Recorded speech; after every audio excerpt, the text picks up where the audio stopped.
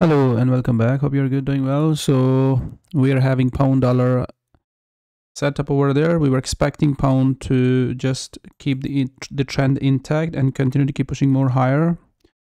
But after the decision from ECB, we got a breakdown and pound slightly went lower and again testing those lows. So simply, we are having a Bank of England rate decision next week and uh, pound is you know, pound should price in for that uh, event for higher interest rate in the UK and more hawkish Bank of England. So uh, you are simply expecting it to to hold that uh, previous low, right, and uh, it is already bouncing off, right, and bounce off and at least give you a one to one risk reward ratio, and in best case scenario, just run for another leg higher all the way back to that top like this okay? And and uh, further best case scenario just break through and just simply go to 127 so the bullish you know uh, setup is still intact on pound dollar. We are still having the bullish view. We were not expecting this to happen. We breakout to happen.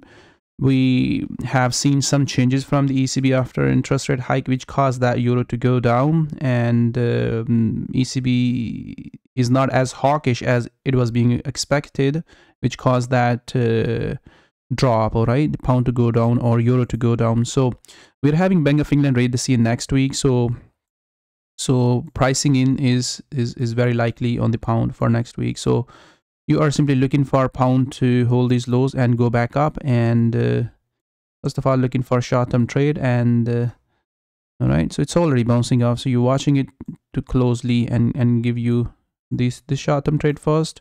Yeah so already bounced off so may not continue. It can test those areas a couple of times before we're gonna have you know for more upside momentum. So looking for that that short-term trade or this to price to rise all the way back to this area or in best case scenario another leg higher on four hour time frame to daily time frame. Hope that uh, makes sense. Okay so let's say in case if you see that the breakout okay it, it, in case if it breaks down aggressively to the downside. So we're still gonna look for you know bullish wave all right? We're st still gonna look for a bullish wave. We'll see where we're gonna get the entry right? But still gonna be a, still gonna look for a bullish waves in that case price you know can extend up to to to further downside. The, the, daily moving averages are so far away i don't think so we're gonna have you know pound to visit those areas. So not making sense at, at, at the moment all right but in case if it breaks slightly lower we're still gonna look for this to continue its bullish trend intact all right so look, gonna look for bigger correction something like that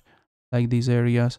But fundamentals are still still supporting for the pound to just stay intact for more upside. And in best case scenario it can run up to 143 in uh, you know or 145 or 150 areas in longer term right thank you